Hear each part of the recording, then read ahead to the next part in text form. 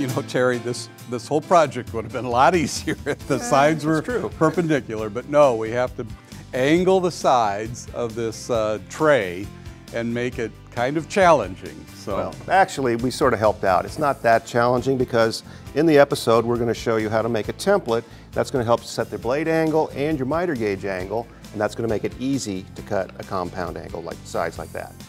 So the angle, the sides are going to angle out. Well, now you have to join them together. Correct. So we're also going to show how to modify a box joint jig and cut angled box joints uh, to join this, the corners of this tray together. That's kind of an interesting technique. And don't worry, if this tray is a little bit more complicated than you'd like, we've also got a really simple project on, on this episode, and that's this wood base. It's made from just five pieces of wood, and then we're going to use templates again to lay out the shape, and we cut it all in the bandsaw.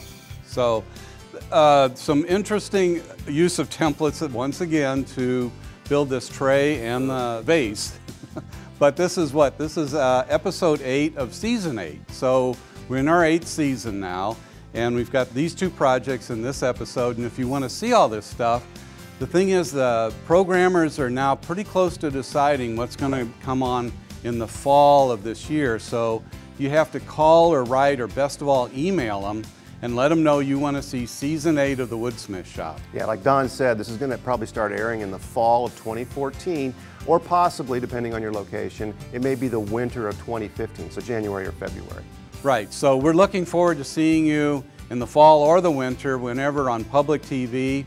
This is kind of a cool, this is a lot of cool techniques. In fact, we're gonna, about yeah, the handle, handle. yeah. So we have a, we wanted to make a round handle out of a square piece here, and we actually figured out a way to do that over at the router table. And how does it fit on? It just keeps going, there you go. There, okay, fits on right like that. And then we'll trim that And off. trim this off and kind of a cool project. So Yep. we'll get done, we have to get this finished up and then we'll finish up on this episode. We'll see you in the fall or the winter. All right.